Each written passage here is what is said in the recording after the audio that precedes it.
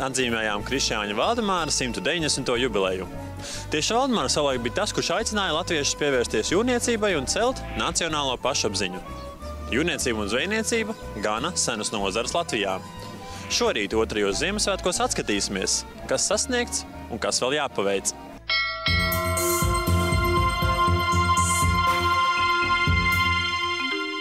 Latvijas ostās šogad 11 mēnešos pārkrāva 63,93 miljonus tonu kravu, kas ir par 6% mazāk nekā pērn attiecīgā laika periodā.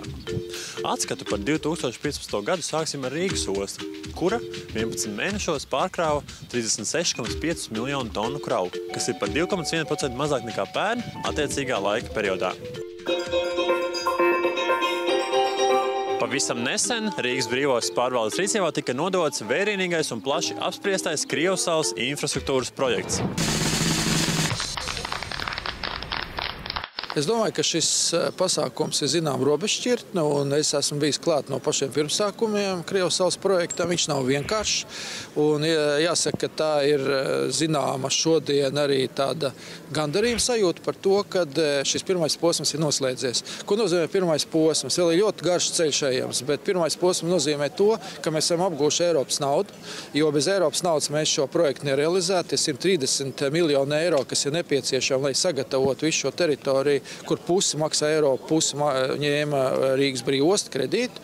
Tad atgriezīsies atpakaļ, bet eh, bez viņiem mēs to neizdarītu. Un eh, šodien aizgāja tas skaitītājs, kas saucās 24 mēneši. Tas ir laiks, kurā uzņēmējiem no esošiem pilsētas centra piestātnēm ir jāpārvācās uz šejienu.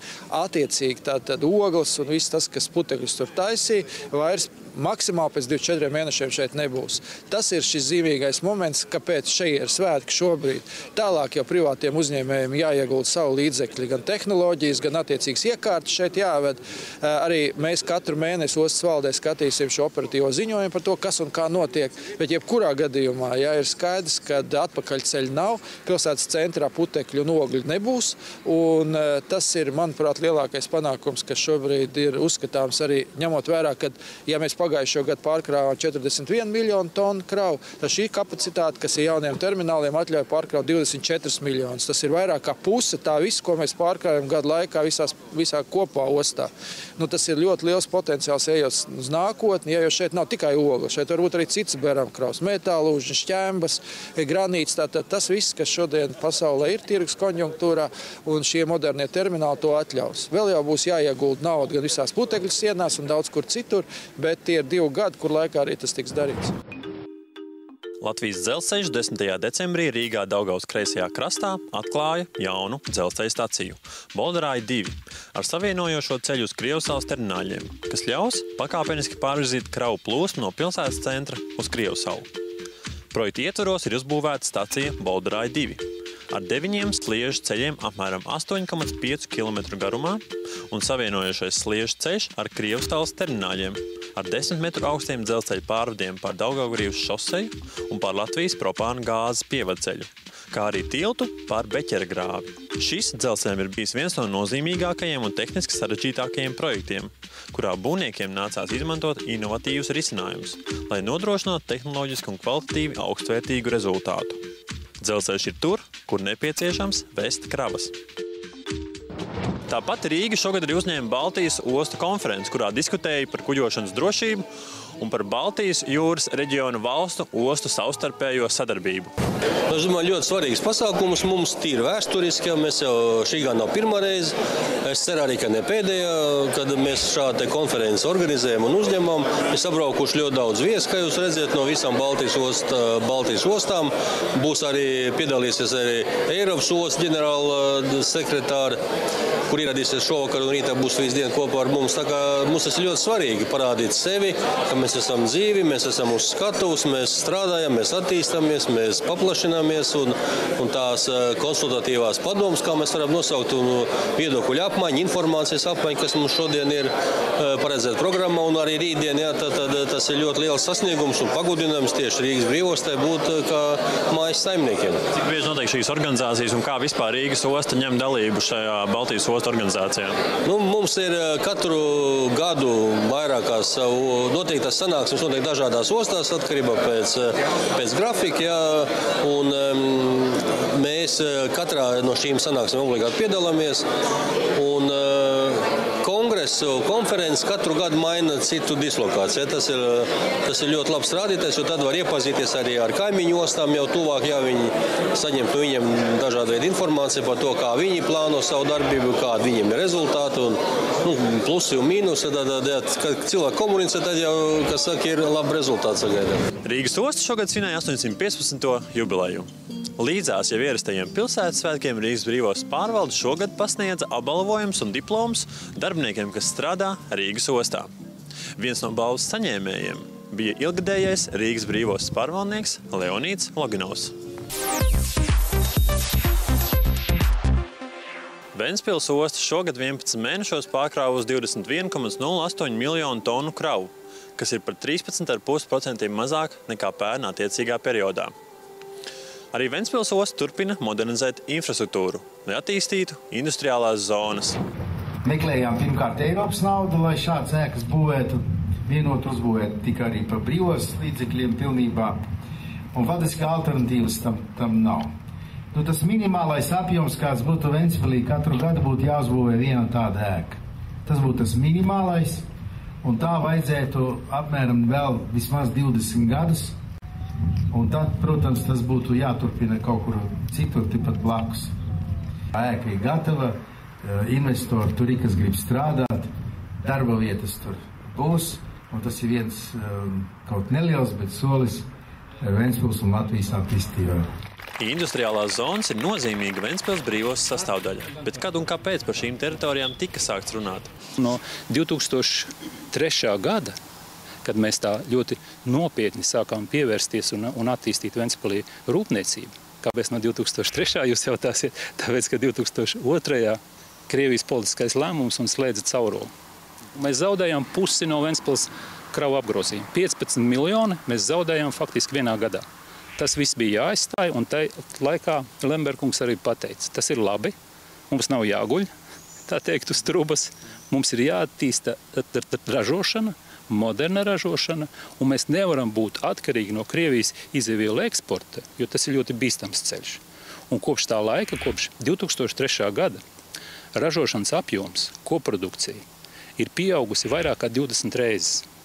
Eksporta apjoms ir pieaudzis vairāk kā 50 reizes. Savā 725. jubilejā Ventspils saņēma dāvanu.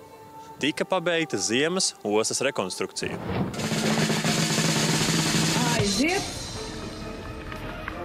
Aplausi! Ventspils brīvos kuģi piestātne ir atvērta!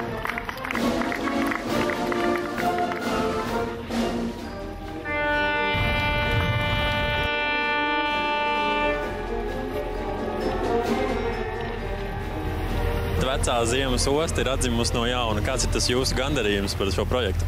Jā, nu, vajadzētu viņu saukt par vintrāpeni, tāda viņa tas būtu. Zināt, es pirms sāka, es tik tiešām iztaigāju, protams, arī agrāk, un, un tad mēs lēmām, ka tomēr viņi tā jāsaved mūsdienu izskatā, bet tad, kad tas mirklis pienāca un vajag sākt darbus, tad bija, zinām, mērā skumji, jo tomēr vairāk kā simt gadi, tur veci pāļi, koka pāļi, viss, nu, tāda veca, veca elpa. No otras puses pilnīgi disonē ar visu pārējo ostu, un tad, protams, tā pagātne aizgāja un palika tikai fotografijās un filmās.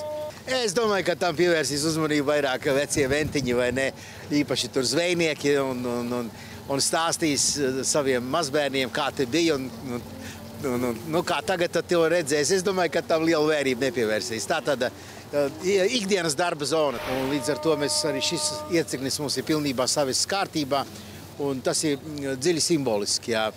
Bet tomēr man ir arī prieks, ka vienā otrā vietā, kas nav, netiek izmantot, kur krasti pieļauj, vēl ir koka pāļi. Un tas, tā, tā ir tāda maza, maza atmiņa, tāda, tie metri, tie nav kilometri. Un tas tā labi ir, ka var salīdzināt veco un jauno. Šosezon nedaudz vairāk iepazinām zvejniecību un akvakultūru Latvijā, tāpat arī viesojamies zivju pārstrādes uzņēmumos. Lai arī gads bija grūts, varam droši teikt, ka zivsainiecība Latvijā attīstās. Šogad pirmo reizi nozares pārstāvjiem tika pasniegts lielais loms - balva par ilgadēju darbu un panākumiem zivsainiecībā. Jāsaka tā, ka vērtējot nominants, daudzās no kategorijām nebija tik daudz to pieteikumu. Kā jau es arī teiksim, uzrunā atzīmēju, tas laiks arī nebija garš, lai varētu pieteikties. Tā bija pirmā reize. Un, un, un teiksim, to pieteikto nominantu skaits nebija liels. Ceram, ka uz priekšu tas attīstīsies, bet skaidrs, ka arī ir kaut kas jāsasniedz, lai varētu kļūt par nominantu un arī šo uzņēmumu vērtēt, un viņš varētu nonākt līdz balvai. Manuprāt, ir ko rādīt un ir ko parādīt teiksim, zivsainiecības uzņēmumiem Latvijā. Mm, es domāju, ka to redzam arī, arī mūsu veikalu plauktos. Pēc tā, ka Krievijas tirgus mazliet ir sabojājies, tad arī tie produkti vairāk parādās Latvijas lielveikalos. Un var redzēt, teiksim, ka ir atšķirīgi produktu veidi, kas, kas tiek ražoti. Ja mēs paskatāmies varbūt kādus dažus atpa, gadus atpakaļ, ja, konservi pārvēršas, izskats pārvēršas. Un, jāsaka tā, ka mēs esam spējīgi un mākam ražot ļoti kvalitīvus produkts. Tagad jaunajā plānošanas periodā un atbalsta periodā arī liels akcents tiks veltīts inovācijām, kaut kam jaunam, kaut kā jauna radīšanai. Ceram, ka uzņēmēji mācēs un spēs to izmantot. Un, no tā nevajadzētu apstāties. Šīs balvas īpašnieks mums vajadzētu spēt atrast. Šī tiešām arī, es domāju, zivju nozares izpratnē Mēs viņu arī citās nozarēs dēvējam par galveno balvu, kura tiek pasniegta cilvēkiem, kuri tiešām visu savu lielāko noteikti dzīves daļu ir veltījuši šai nozarei. Un ne tikai veltījuši, bet bijuši ļoti aktīvi šīs nozares pārstāvi, gan paši strādājot, gan varbūt lielu daļu no savas sabiedriskā veikuma arī ziedojot šai nozarei. Un komisija, kas vērtēja, atzina un šo balvu, pirmo balvu šī nozarē, ir piešķīrusi Inārijam Vojtam.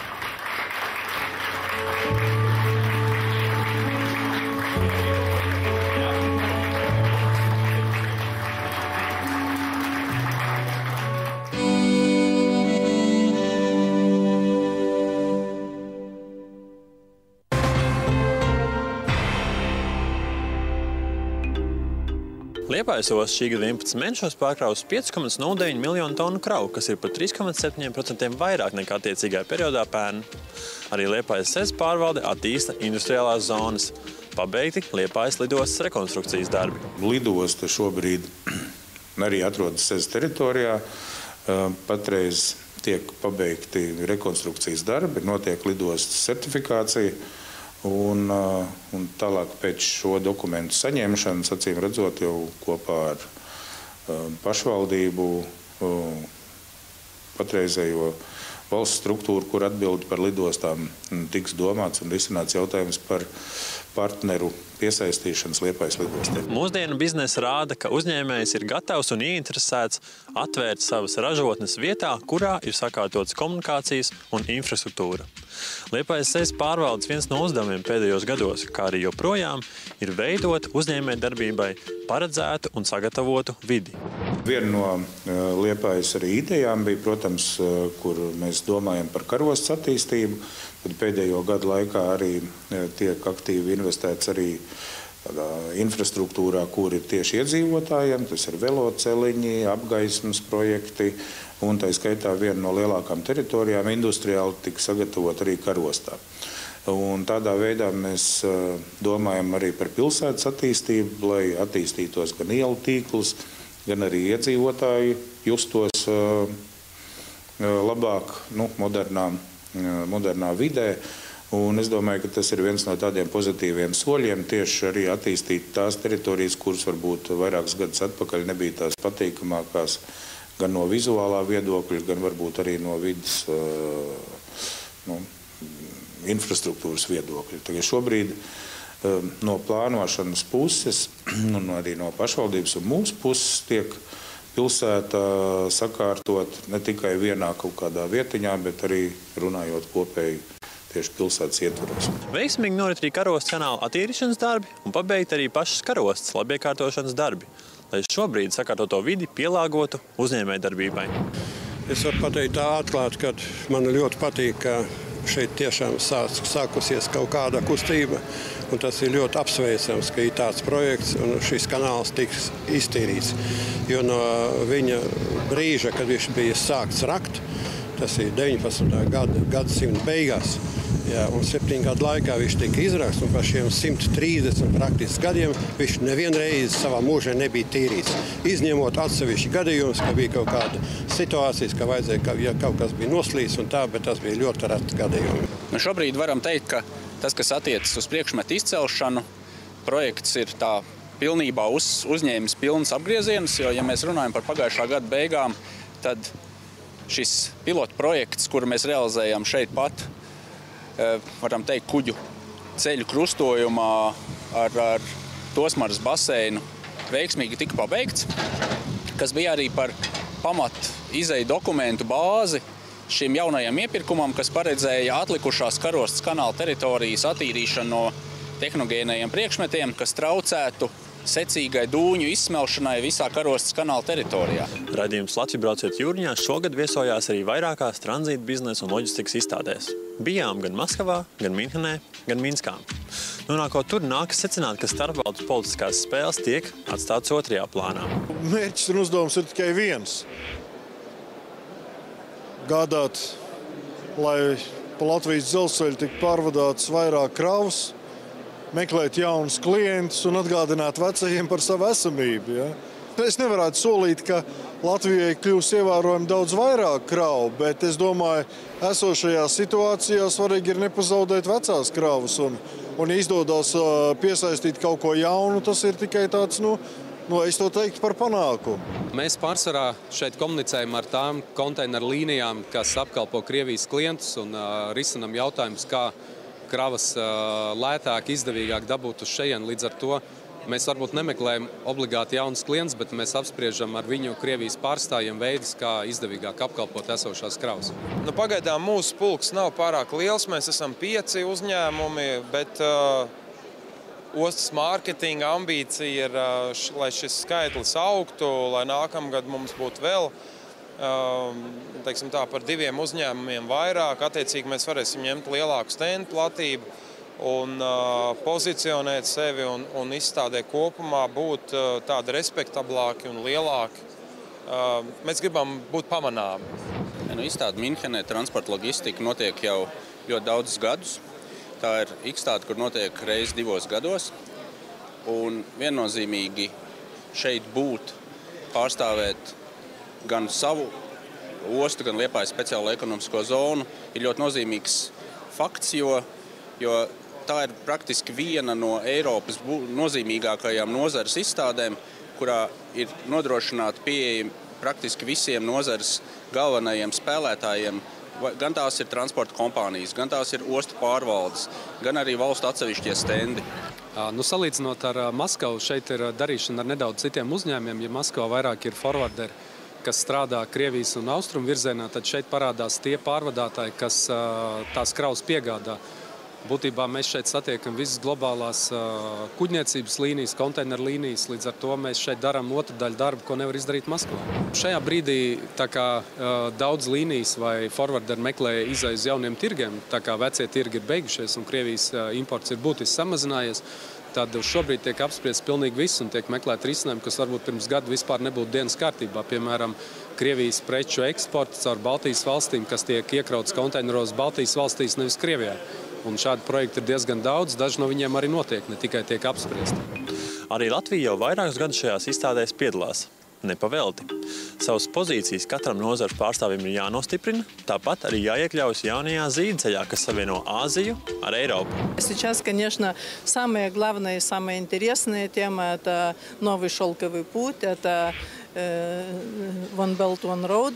Э, это прекрасная прекрасный проект Китая, и я думаю, что он будет осуществлен, потому что что задумал Китай, еще ничего не было, чтобы не было осуществлено. Я вот только что из Казахстана вернулась. Только одна тема – новый шелковый путь. И даже если Белоруссия так активно хочет включиться в новый шелковый путь, хотя она как бы немножко была всегда в стороне от, этих таких коридоров, но с другой стороны коридоры, они прокладываются людьми. И я думаю, что это очень интересное время мы живем, мы транспортники. Это будет долго осуществляться и очень интересно. Šogad devāmies arī vairākās ārzemju ostu apskatēs. Tallinas ostā krava apjoms krīt, tomēr pasažieru segmentā jūtams pieaugums. Klaipēdas ostā pārkrauto kravu apjoms ir stabils, ko lielā mērā sekmē veiksmīgā sadarbība ar Baltkrieviju. Savukārt Nīneshamnas ostā Zviedrijā apkalpo Roro tipa kravas. Un ir veiksmīga sadarbība ar Liepājas ostu un Ventspils ostu. In Tallinn port there is uh, one new project. Uh, it's, uh, Tallinas ostā ir jauns projekts. Kāds uh, tas ir? Maybe you can tell something more about this project. Yes, uh, we are entering into a totally new market. Uh, so far we have been uh, big port. Mēs ejam jaunā tirgū. Līdz šim ostā mums ir bijuši kravu pārvadājumi, um, well, pasažieru pārvadājumi. Mums darbojas arī ledlauzes. Uh, icebreaker ourselves, so we have one ship now Tomēr ostas pārvaldībā uh, līdz šim nav bijuši tiešie uh, pasažieru pārvadājumi. But, starting from, October next Bet sākot ar 2016. gada oktobri, mēs sāksim prāmu satiksmi starp Igauniju un lielākajām Igaunijas salām - Sārimā un Hījumā. The driving time to Saaremaa is about 25 minutes. Uz Sāremā brauciens ilgs 25 minūtes, uz Hījumā pusotru stundu. Sāremā, it's basically the ship takes uh, passengers and cars on board. 25 minutes to, to the island. Cars Satiksme būs regulāra, bez apstājas. Mēs turpinām attīstīt terminālus. Zinām, ka ir atvērts jauns konteineru termināls. Arī jaunais LNG termināls. These all developments made our port Šīs pozīcijas padara mūs stiprākus Baltijas jūras reģionā. Un mums ir rezultāti. Tāpēc mēs turpinām darbus. Turpinām arī ostas padziļināšanas darbus. Šobrīd tie ir līdz 15 metriem. Tomēr jau gatavs ir plāns padziļināšanas darbiem līdz pat 17 metriem.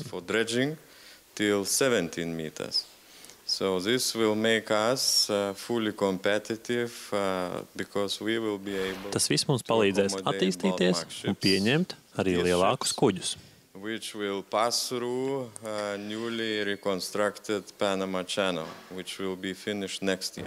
We are now in Ninesham port. Atrodamies Nineshamnas ostā.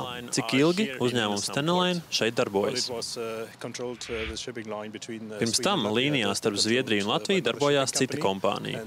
Un 2012. gada novembrī Steneline pārņēma šo līniju savās rokās. Viss šobrīd norit veiksmīgi. Kāpēc tieši šeit, Nineshamnā? Šeit ir sakārtota infrastruktūra. Kravas automašīnas ierodas šeit pa automaģistrālēm no Zviedrijas ziemeļdaļas, arī no Stokholmas. Jo autoceļš uz Stokholmu sākas uzreiz pēc 5 km no ostas. Liekas, ka ostai nav iespēja plaši augt, vai pareizi? Tieši tā, iespējas ir mazas. Tāpēc gaidām dažādas atzinumus, atļaujas, lai sadarbībā ar Norviku ostu paplašinātos. Cerams, ka pēc trīs ar pus gadiem jau varēsim runāt par lielāku Nīneshamnas ostu. Lai arī 2015. gads nebija no vienkāršākajiem, paveikts ir daudz un ir pamatots cerības uz raidījumā dzirdēto nozaru attīstību arī turpmāk. Raidījumu Latvijas brauciet jūrņā radošās komandas vārdā saku paldies arī jums, ikvienam no mūsu uzticīgajiem skatītājiem. Ievelkam elpu, izvērtējam sasniegto un tiekamies nākamajā sezonā. Laimīgu jauno gadu!